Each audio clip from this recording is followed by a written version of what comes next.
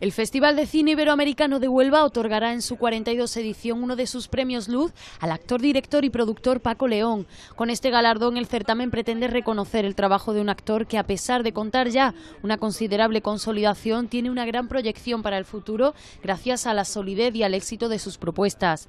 Según el director del festival, Manuel H. Martín, están muy agradecidos por el hecho de que Paco León haya aceptado este premio. El director ha asegurado que el actor y director sevillano encarna a la perfección la filosofía que quieren imprimir al certamen, sustentada en los pilares de la cercanía al gran público y el rigor y la profesionalidad en los planteamientos. Paco León es actor, director, productor y guionista, intérprete polifacético formado en el Centro Andaluz de Teatro de Sevilla, que se inició alternando trabajos como bailarín en diferentes compañías de danza con obras de teatro.